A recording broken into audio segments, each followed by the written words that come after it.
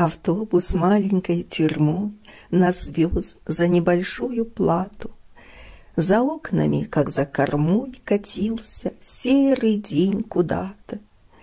И серыми казались мы, Не молоды, слегка помяты, И души холодом зимы Ее заботами зажаты.